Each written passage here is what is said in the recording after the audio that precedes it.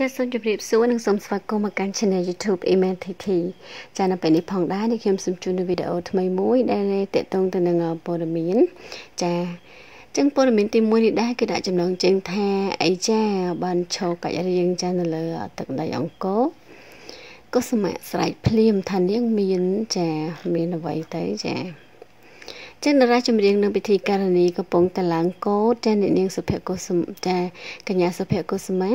ត្រូវមជ្ឈដ្ឋានឃើញថានាងកំពុងតែសស័កសស្រាំខ្លាំងក្នុងអាជីពសិល្បៈខណៈនាងទទួលបានការងារមិនចេះដាច់ដោយសារទេពកោសលនិងវោហាសាសាប្រកោប្រៀបសឹងគ្មានស្របពេលក្នុងតំណែងជាពិធីការនីតែងបង្ហាញនៅភាពស្រស់ស្អាតផងនោះស្រាប់តែនៅប៉ុន្មានម៉ោងមុននេះតារាស្រីសម្បុរខ្មែររូបនេះក៏បានបង្ហាញរូបថតគួរឲ្យគយគន់ជាមួយសញ្ញាដែលផ្ដិតចេញពីទឹកដីអង្គរនៃជាតិខ្មែរយើង នៅលើរូបភាពចាបែបអ៊ីនព្រីននិងកាមេរ៉ាផងនោះសុភកុសមៈក៏បានបន្ថែមសារខ្លីហាក់បង្ហាញពីភ័ព្វសំណាងដែលបានកើតជាជាតិខ្មែរនិងដាស់តឿនកូនខ្មែរផងថាខ្ញុំមានមោទនភាពណាស់ដែលខ្ញុំបានកើតនៅលើទឹកដីដ៏អស្ចារ្យទឹកដីអច្ឆរិយៈទឹកដីដែលស័ក្តិសិទ្ធិចូលយើងជាកូនខ្មែរត្រូវចាកូនចៅចំនួនក្រោយត្រូវនាំគ្នាចូលរួមថែរក្សានិងអភិរក្សប្រាសាទ ដែលបុព្វបុរសបានបន្សល់ទុកកុំឲ្យមានជនអាក្រក់ចង់បំផ្លាញអ្វីដែលជារបស់ខ្មែរយើងភ្លាមភ្លាមដែលឃើញពីសារប្រកបទៅដោយភាពរំភើបនិងគួរឲ្យខ្នាញ់លើទឹកដីអង្គរអ្នកនាងច័ន្ទច័ន្ទលក្ខណៈដែលជាតារាសម្ដែង និងមានទូនាទីជាប្រធានសមាគមសិល្បករខ្មែរផងនោះក៏មិនបានអស់រំលងឡើយចាបានចូលមកខមមិនដោយពាក្យសរសើរចេញពីចិត្តផ្លែថាស្អាតម្លេះខណៈដែលឃើញរៀមច្បងចេញមកសរសើរចំចំបែបនេះក៏សមៈមិនមកអងតបភ្លាមដោយរំភើបថាអរគុណបងស្រី ដែលសរសើរអូនគួរឲ្យស្រឡាញ់ណាស់ចាចឹងសូមចប់ជាមួយនឹងចាព័ត៌មានទី1របស់យើង ចាឥឡូវនេះសូមមកបន្តជាមួយនឹងចាព័ត៌មានមួយទៀតផងដែរចាដែលដាក់ចំណងជើងថាកុំឲ្យចាញ់ច្រាប់តារាផ្សេងព្រោះតែការងារសិល្បៈចាចឹងវិរៈចាវិរៈនិចនេះគឺគាត់ស្ម័គ្រចិត្តលះបង់ចាចាលះបង់អ្វីខ្លះចាចឹងឥឡូវសូមស្ដាប់ជាមួយនឹងចាព័ត៌មានរបស់យើង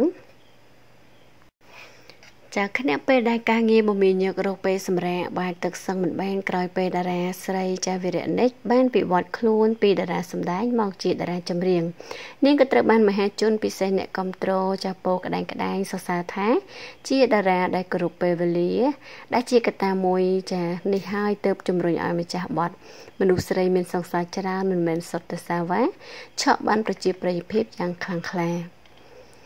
ជាស្ដែងសកម្មភាពលះបង់ការជិះរថយន្តម៉ាស៊ីនត្រជាក់និងទៅជិះម៉ូតូឌុបដើម្បីចូលរួមកម្មវិធីចាំមួយឲ្យតាន់ពេលវេលារបស់ក្មួយស្រី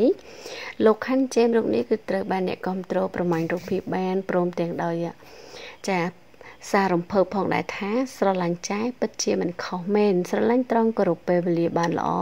គ្រប់ពេលឲ្យតែគាត់មានកម្មវិធីមួយមួយ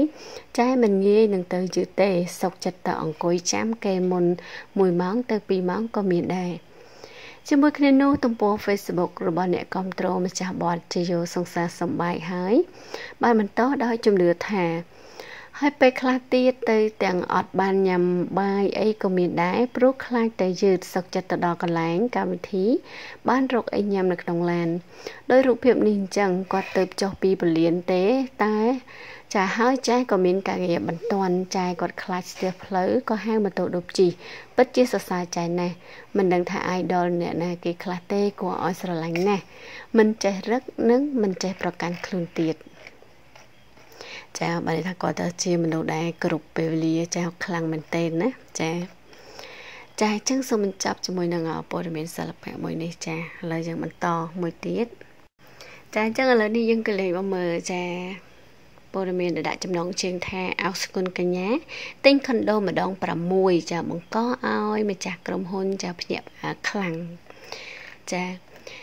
ចចឹងអង្គសគុណកញ្ញាដែលជាតារាល្បីនៅហងមាសបានចំណាយថវិកាមិនក្រោម100,000ដុល្លារទិញខុនដូ6ក្នុងពេលតែមួយ បង្កឲ្យបុគ្គលិកលក់ក្រុមហ៊ុន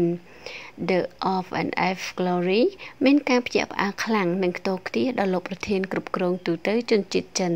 លោក Zhu ក៏ទាញនាងជាតំណាងផ្សព្វផ្សាយលក់ឲ្យក្រុមហ៊ុននេះតែម្ដង